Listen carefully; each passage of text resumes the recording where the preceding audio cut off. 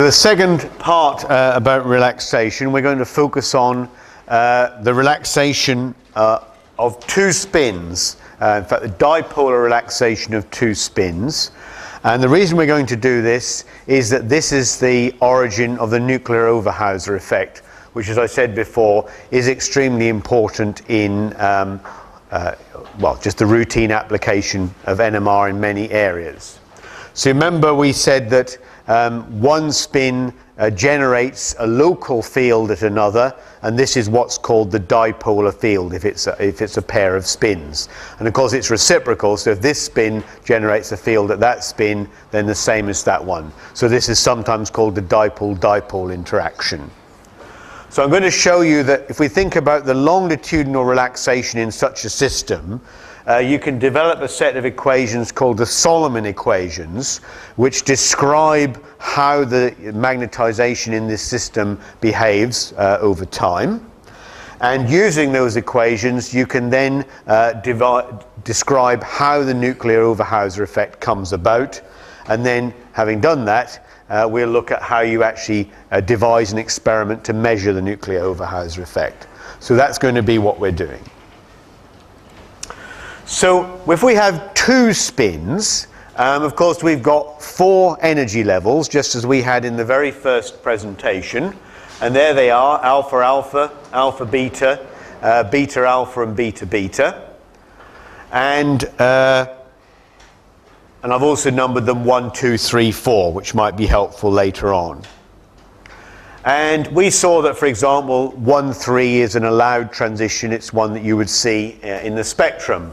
But that's not what we're interested in at the moment. What we're interested in is uh, whether or not relaxation processes can cause transitions between these energy levels. And in fact, one of the special things about the dipolar interaction is it can cause transitions between any two of these energy levels. So not only between 1 and 3, which is the same as a spectroscopic transition, but it can also cause transitions directly between 1 and 4 and directly between 2 and 3.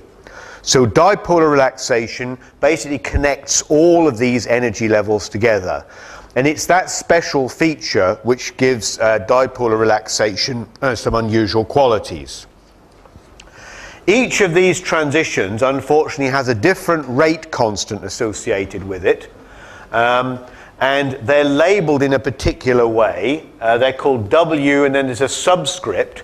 So W1s, these are rate constants for processes in which the quantum number changes by 1.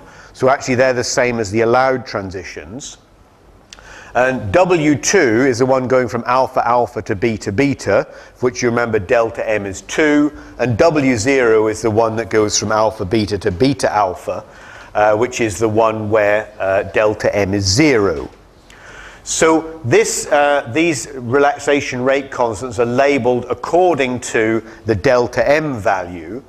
And just to add further complications, uh, the two W1 transitions uh, of spin 1, for example, uh, 1 3 and 2 4, these two rate constants are in principle different as well and that's why they're called W1 1 alpha and W1 1 beta. Uh, so even this rather simple system, consisting of uh, four energy levels, uh, because of the dipolar relaxation, they're connected together by rather a complex set of relaxation pathways.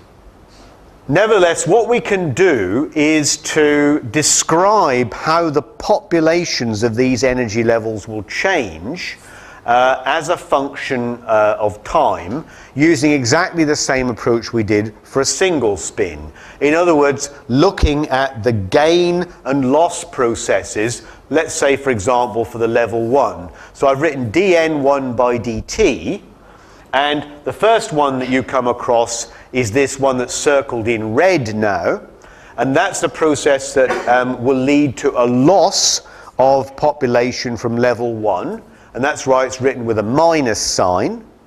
And uh, the rate constant is W1 to alpha.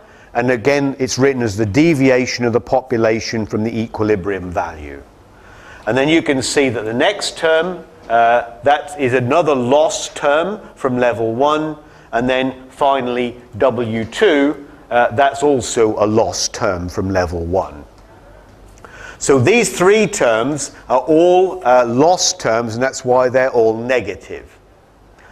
Now you've got to think about the processes coming the other way. So, for example, this green one, this takes population from level 2 down to level 0, and that's why it's written as a positive term.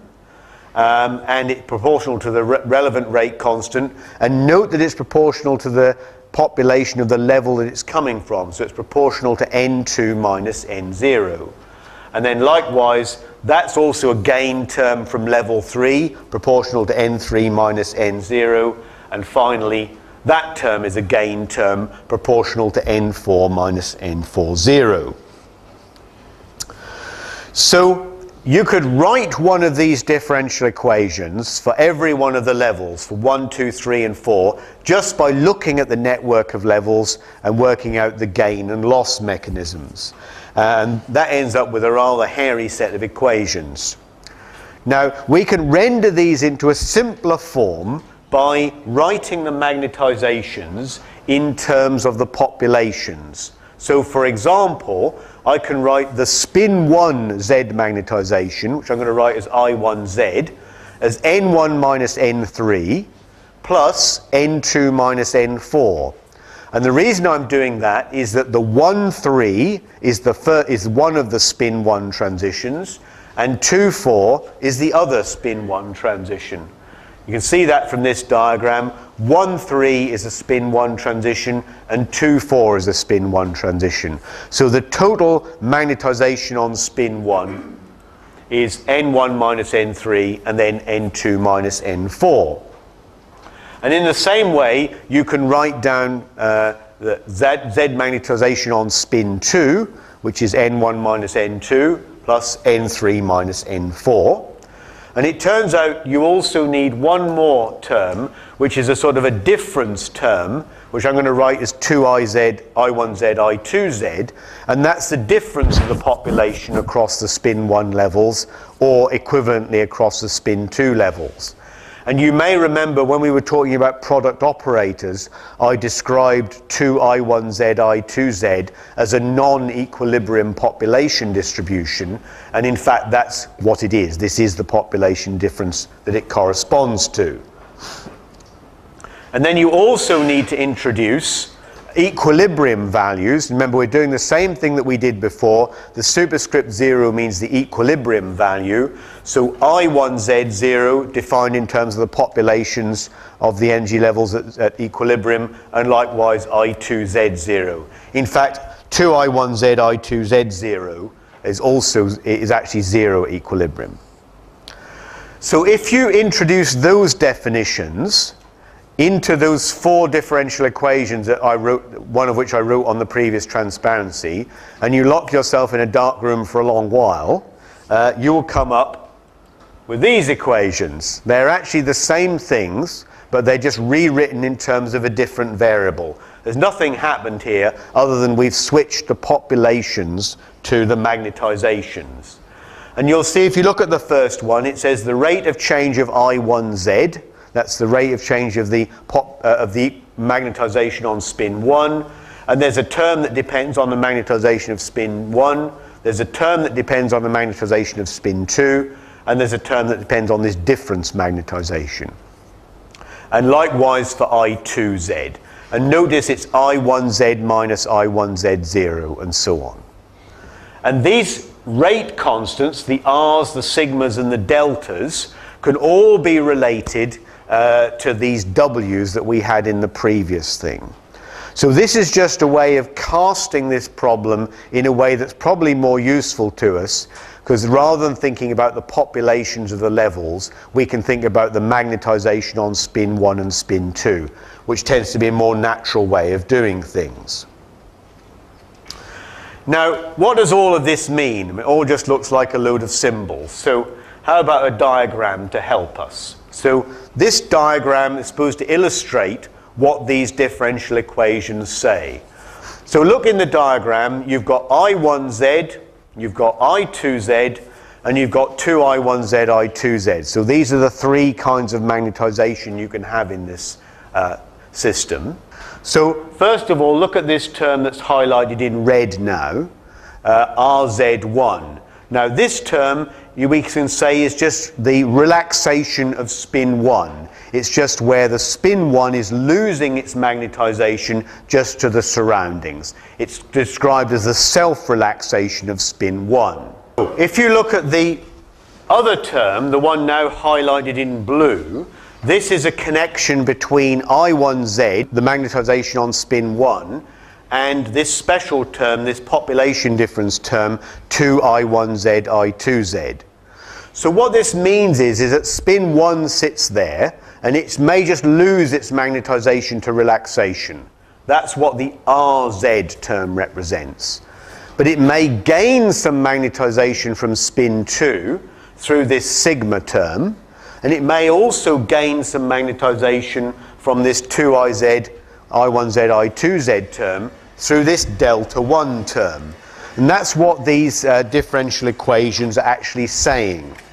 So what they're saying is, we've got these two spins, but they are not isolated. You know, what happens on spin 1 affects what's going on on spin 2 and vice versa. They're connected.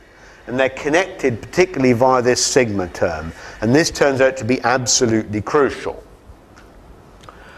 Now, if we stick to only dipolar relaxation, then it turns out, thank goodness, that these two rate constants, delta 1 and delta 2, are zero. So those two arrows disappear, and we can now forget about this 2i1z, i2z term because it's no longer connected to the i1z and the i2z. So that simplifies things considerably. So my Solomon equations then look a little bit simpler.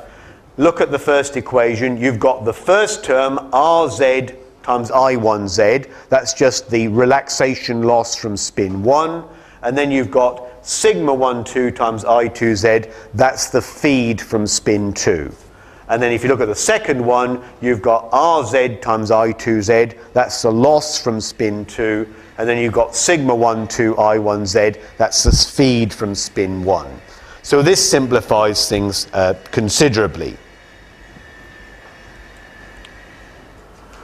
So the terminology we use to describe this is the following. These rate constants Rz, we call these the self-relaxation rate constants. So Rz1 is the self-relaxation rate constant for spin 1. Uh, Rz2 is likewise called the self-relaxation constant for spin 2. And this term sigma 1, 2 is called the cross-relaxation rate constant uh, between the two spins. Cross relaxation in the sense that it connects the two things. And uh, the cross relaxation process, sigma 1 2, that's the one that connects the magnetization from spin 2 to spin 1 and vice versa. So this turns out to be uh, particularly important. Now, I haven't really described to you how you would go about calculating any of these rate constants. So we used lots of these W's for the rate constants between two particular energy levels. Uh, and then I showed you that combinations of these W's can be written as R's and sigmas. Um, and I'm not going to describe to you how you do this. I mean, there is a, a, a well-developed theory about how you can do this. And uh, if, you, if you read Art Palmer's uh, book, it tells you all about it in great detail. But if you look at any of the expressions you get, they actually all have a common form. And this is quite helpful to understand what this is. So if you calculate a rate constant between two energy levels I and J, they usually have three terms. First of all, there's some kind of funny number, and it's usually 3 tenths or 7 1 484ths or some strange number and that just comes from out, out of the quantum mechanics behind this theory. And then you get what I would call a magnitude term, which I'm going to call y squared. And this term depends on the strength of the interaction. So, for example, if it's the dipolar interaction, this term will just basically depend on the gammas for the two nuclei involved and the distance between them. And in fact, it always turns out to be proportional to the square of the local field uh, because of the way this works. So in fact, that four would give you a distance dependence of 1 upon r to the 6 in the case of the dipolar relaxation. And finally, you've got the spectral density term J omega ij, and this is the spectral density at the frequency that corresponds to the transition between the two levels. So you've got your level I and your level J, and then you look at the frequency of the transition between those, and you need to know the spectral density at that frequency. So that's what this uh, J omega ij is. So no matter what kind of relaxation it is, uh, these rate constants always have this form. Uh, there's always a quantum factor, a size factor that relates to how big the local field is, and then a spectral density term. And it's quite helpful to keep this in mind when you look at these expressions in books. So, for example, uh, these are the expressions that you'll find in any of the standard works for the W rate constants for dipolar relaxation. And if you look at them, you'll see that they all have exactly the form I said they did. There's a number, the first one is 3 40ths. There's a magnitude factor, b squared, and you can see that b squared is proportional to the gyromagnetic ratios and also to 1 upon r to the sixth. And then there's a spectral density at the relevant frequency. So W1 superscript 1 is a transition of spin 1, so it's a spectral density at Larmor frequency of spin 1. And if you look at W2, it's 3 tenths b squared, and it's j at the sum of the Larmor frequencies, because if you think about the transition 1 to 4, which is what W2 represents, it's a transition involving both spins flipping, and if you work out the energy gap, the frequency gap, it would be the sum of the Larmor frequencies. And W0 is the difference of the Larmor frequencies. So they're the W's, and remember that the R's are just written in terms of the W's.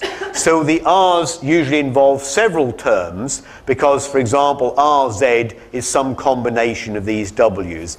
But it's still all the same thing, you see. There's a B squared term, which gives you the magnitude, and that's stuck out at front. There are all these funny numbers, and they just come from the quantum mechanics. And then there are all these spectral densities. So what this telling you is that these relaxation rate constants depend uh, on the spectral densities and on these intensity factors.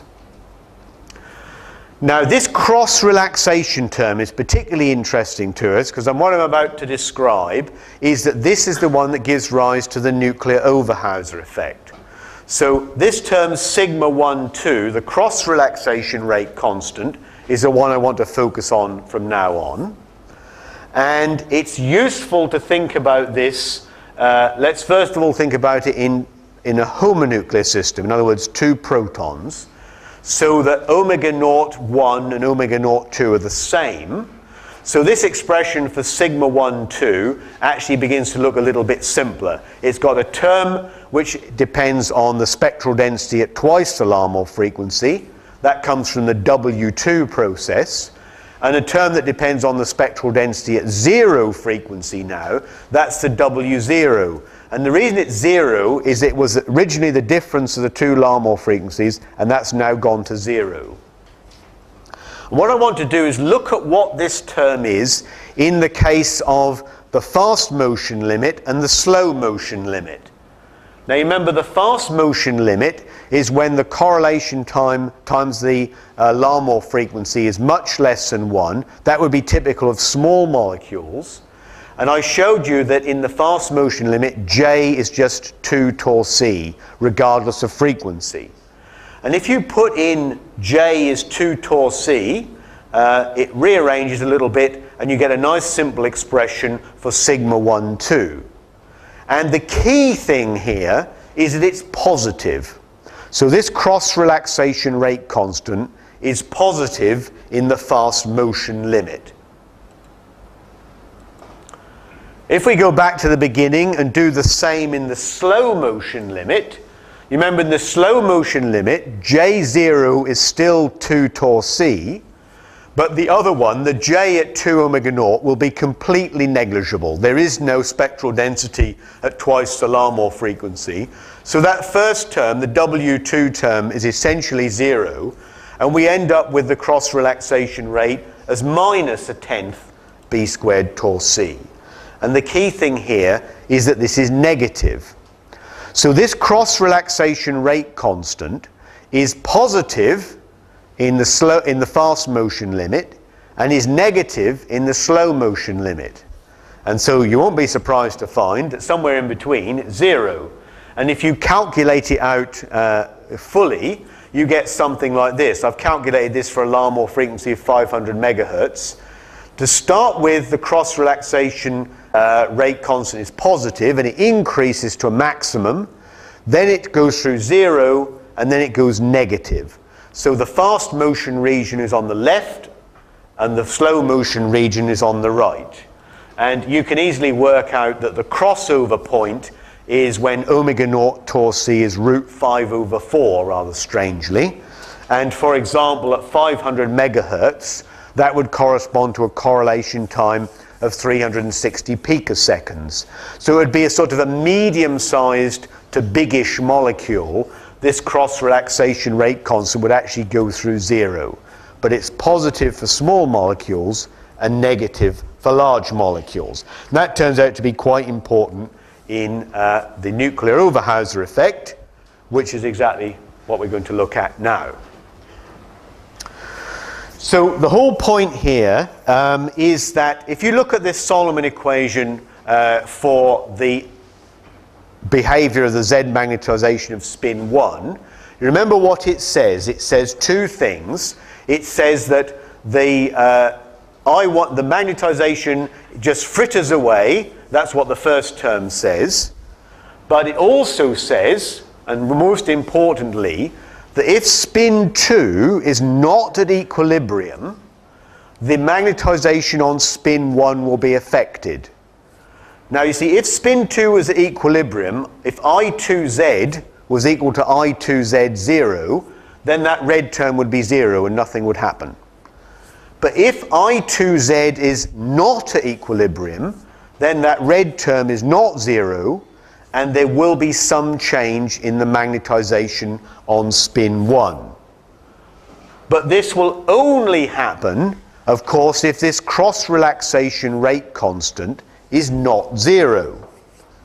And the nice feature is that almost exclusively the only kind of relaxation for which this sigma 1 2 is not zero is dipolar relaxation between spins.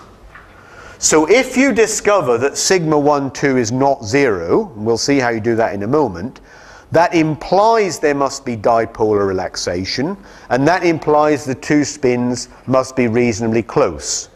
And of course, that is how the nuclear Overhauser effect is used, because the nuclear Overhauser effect is basically how we detect this, and therefore we say if there's a nuclear Overhauser effect, the spins are close. So this is what the nuclear Overhauser effect is. And this Solomon equation basically tells us how to do the experiment. Because all it says is, I need to perturb spin 2 away from equilibrium and see what happens to spin 1. And if spin 1 doesn't change, that means sigma 1, 2 is 0, and there's no cross relaxation and no nuclear Overhauser effect. But if it does change, it means there is cross relaxation and there is a nuclear Overhauser effect. So the simplest kind of experiment you could do to detect this would be something like the following. You do one experiment where you apply a selective 180 degree pulse only to spin 2. That means you put a weak field on, you invert the magnetization on spin 2, but you leave spin 1 alone. So that's called a selective pulse. So we've done what we said we wanted. Spin 2 has been driven away from equilibrium. Now we wait a time tau, and we wait for that cross relaxation term to feed some magnetization from spin 2 to spin 1. And then after we wait a bit, we do a 90 degree pulse and look at the spectrum. What you usually do is then record a reference spectrum during which you don't do anything other than just do a pulse acquire. And that will give you the normal intensities.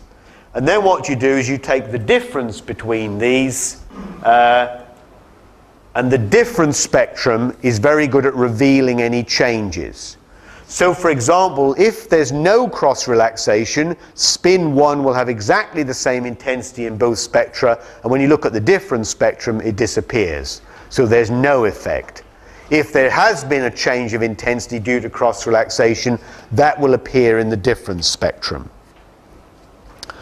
So this is the basic idea. Perturb one of the spins from equilibrium, leave a time, and then see what happens. And you usually reveal it by using a difference experiment.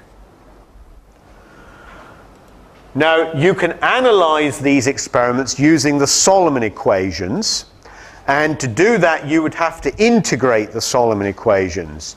And unfortunately, they are two coupled first order differential equations. And they're not that difficult to integrate, but on the other hand, it's not entirely straightforward. It's not a one liner. So in the book, you'll find that I integrate these using what's called the initial rate approximation, which makes it a bit easier to do uh, and is valid for short times. Um, so you can look at that and what you end up with is something fairly straightforward. Uh, the Z magnet, if you look in the table, the Z magnetization on spin 1 has got two terms in it. There's a term which is uh, the equilibrium magnetization, I1Z0, and then there's a term that we're interested in, which is the term now highlighted in red, and this is the term which arose from cross relaxation from spin 2. You see, it goes as sigma 1, 2, the cross relaxation constant times tau. When you have the uh, reference experiment, of course, the magnetization is just I1Z0, just the equilibrium magnetization. And all that we do is then turn these magnetizations into intensities because what you're going to do is a 90 degree pulse and then measure the intensity of the signal. And the intensity is proportional to the Z magnetization. So the intensities would be that. So when you took the difference experiment, you would see that. So again, if you look there at the term highlighted in red, this is just saying that if there's a cross relaxation, there will be a difference in intensity between the first spectrum and the reference spectrum, and that difference is proportional to the cross relaxation rate constant. So if you want to see it in a sort of a highly schematic way, it would look something like this. I've done the selective inversion on spin 2, so when I look at the spectrum I see a positive peak on spin 1, an inverted peak on spin 2. When I look at the reference spectrum, I see uh, two positive peaks. And then I take the difference spectrum, uh, the, the inverted peak goes double negative, and if there's a nuclear Overhauser effect, you see a small perturbation on spin 1. So this is usually called an NOE difference experiment. And if it's worked perfectly, all you see is the inverted signal, the one that was your target, and then you see a small signal, which is the nuclear Overhauser effect uh, that's taken place. And it's normal to define a thing called the NOE enhancement, which is just the difference in peak height between the experiment and the reference experiment, uh, then scaled with respect to the reference experiment. And in this case, you would find the NOE enhancement uh, was 2 sigma times tau. So first of all, if sigma was 0, there's no NOE. And remember, sigma will only be 0 if there's dipolar relaxation. So the NOE is diagnostic of dipolar relaxation. The bigger sigma, the bigger the NOE. Well, the closer the spins are, the bigger sigma and the bigger the NOE. So that's good news. And it also tells you that in this initial rate limit, uh, the NOE enhancement is proportional to tau. Uh, this is only an approximation. At longer times, the NOE enhancement reaches a maximum and then will actually decay away. So this is the first example of an experiment you can use to reveal the nuclear Overhauser effect. Now, there's another way you can do this, which uh, used to be used quite a lot and isn't quite so popular anymore, but I think I'll describe this because it is still used in heteronuclear experiments. And so it uses the same idea, and that is that what you have to do is drive spin 2 away from equilibrium and then see what it does to spin 1. Uh, except this time you do it by irradiating spin 2, again with a weak field, for a long time. And the idea is you drive the magnetization of spin 2 to zero, it's called saturation, and then you keep it at zero by keeping on irradiating it. So you sit on spin 2 with a weak field and you irradiate it for a long time.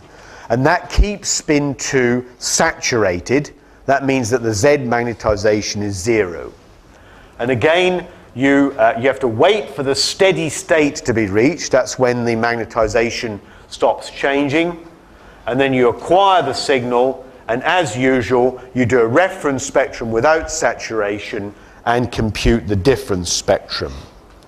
Now, actually, the analysis of this is a little bit more straightforward. So there's my Solomon equation again. So what I'm going to say is I'm going to saturate, so I2z goes to 0. So that term goes to 0. And then I'm going to say I'm going to reach the steady state.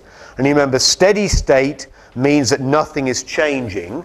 So di1z by dt, the rate of change of iz, has to be 0.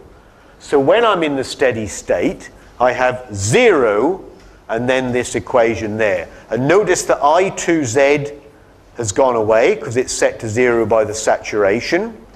And notice I've written SS there to indicate this is the steady state value. And you can rearrange that to give you the steady state Z magnetization as that.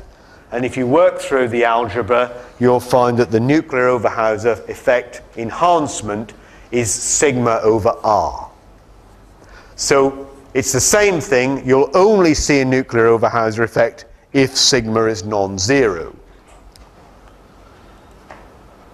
Now the transient experiment, which is the one I described first with the selective 180 degree pulse, and the steady state experiment I've just described, uh, they give different Overhauser enhancements. So look at the transient one. The transient one the Overhauser enhancement is proportional to the cross relaxation rate constant sigma 1 2 uh, and is proportional to the time. The steady state enhancement is proportional to the ratio between sigma, the cross relaxation constant, and r, the self relaxation rate constant. And so the steady state one uh, is really the result of a competitive process between the magnetization arriving from spin 2 and being lost by self relaxation of spin 1. And this is the reason that steady state NOE enhancements are notoriously difficult to interpret in a quantitative way because their value depends on the cross relaxation term, which is the one you're interested in, and this self term, which you don't, often don't really know about. Whereas the transient enhancement only depends on the cross relaxation term. So that's why there's quite a significant difference between these two.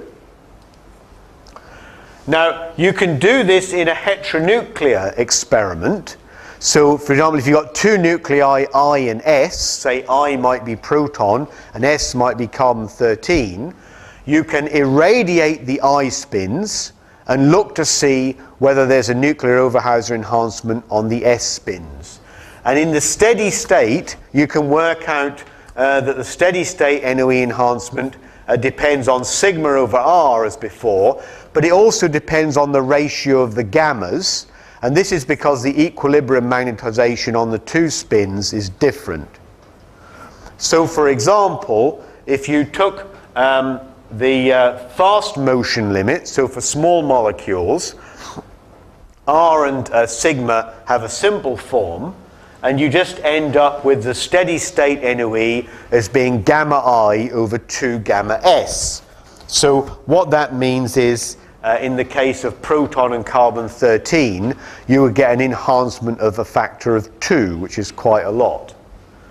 So this heteronuclear NOE depends on the ratio of the gammas as well. Uh, and this is also used um, when people are looking at uh, NOEs, say between proton and N15 um, in a protein. Now I'm just going to finish up by describing uh, one further experiment uh, which you can use to look at the NOE. And that's a two-dimensional experiment, which is the 2D NOESY experiment, as it's called. Um, and this is used a great deal for visualizing nuclear Overhauser effects um, in, in a two-dimensional way. And there's the pulse sequence, 90T190, and then a time, and then 90 acquire. And the way this works is, is that during time T1, uh, the spins evolve under their offsets at their shifts, and this means that the magnetization acquires a frequency label in the way that we've already seen.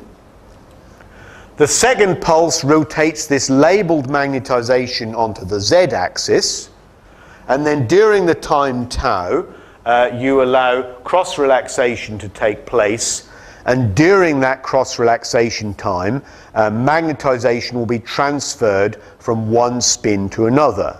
Right, so you may start out with some I1Z, and due to cross relaxation, it may get transferred to spin 2, and vice versa. And the key thing is that when the magnetization gets transferred, it takes the frequency label with it so that the magnetization knows it started out on the other spin. And that's what generates the cross peaks. And then finally, uh, you do a pulse after a certain time to make the thing observable. Uh, and the point is here that the cross peaks arise due to cross relaxation. So this is analogous to COSY, except in COSY the cross peaks arise due to coherence transfer through a J coupling. In NOESY, the cross peaks arise due to magnetization transfer mediated by cross relaxation, hence the nuclear Overhauser effect. Now, the full analysis is written out in the book, and I'm not going to go through this. I'll just highlight the key points. If you have, if you do 90T190, which is the first uh, part of the sequence, it generates Z magnetization, for example, here on spin 1. Note the frequency label, cos omega 1 T1. That arises from the evolution during T1. Uh, and you'd get a similar thing uh, due to spin 2. And then you'd basically plug these into the Solomon equations. And again, you need to integrate and again, that's easiest if you just use the initial rate approximation. And what you end up with is again really what you'd expect. If you look at that first equation, uh, there's I1z, there's a term that depends just on the self-relaxation times C1, which is this cos omega 1 term. And then there's a term that depends on the cross-relaxation constant, and that's times C2 uh, which is, depends on omega 2. And that's the transferred magnetization that comes over with its frequency label. So when you look at the, uh, apply the final pulse, you find that there are three observable terms on spin 1. And these three things correspond to different quantities. So the first one of these is a diagonal peak. Now, I know it's a diagonal peak because all these terms are observable on spin 1, and the modulation is at cos omega 1 t1. So this is a diagonal peak, and notice that the intensity of the diagonal peak is 1 minus r tau, and that doesn't depend on the cross relaxation. So there's always a diagonal peak, regardless of whether or not there's any cross relaxation. The next peak is a cross peak. How do I know that? It appears on spin 1 and the modulation in T1 is omega 2 T1. So this is a cross peak, and its intensity depends on the cross relaxation rate constant sigma. So this peak will only appear if uh, the, the sigma is non-zero. So only if there's cross relaxation, hence the nuclear Overhauser effect. And then the third term, this is actually called an axial peak. We haven't come across this yet. But notice that it appears on spin 1, but it has no modulation as a function of T1. And therefore it will occur at little omega 1 equals 0, along the omega 1 equals 0 axis, which is why it's called an axial peak. And in fact, this arises as a result of magnetization which simply recovers during the mixing time.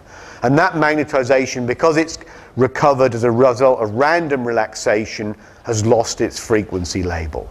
So that's the axial peak. So if you look at your spectrum, uh, here it is rather schematically, the three terms, this term is your diagonal peak at big omega 1 in each dimension. This term here is the cross peak at omega 2 in the little omega 1 dimension and omega 1 in the little omega 2 dimension. And then this is the axial peak shown in blue, which comes out at omega 1 equals 0. And the intensity of these three peaks depends on R and sigma. These axial peaks are an absolute pain, I mean, because they sit there in the middle of the spectrum and particularly if you use long mixing times, they can become quite strong. So it's usual to suppress them, uh, and uh, you should now be uh, entirely confident in predicting how you would do this.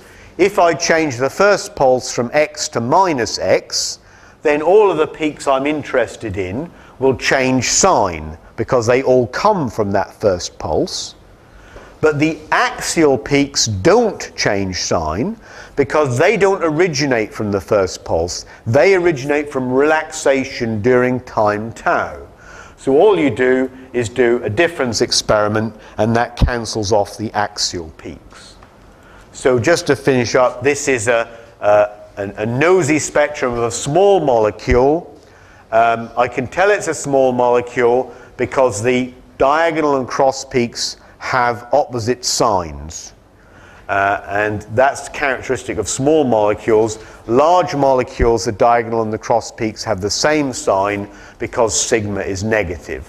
And you can see the diagonal peaks there in black and a whole range of different cross peaks there in blue. So this is very complementary to NOESY. The cross peaks indicate NOEs, that means close contacts, as opposed to COSY, where the cross peaks indicate J couplings. And that brings us to the end of that section.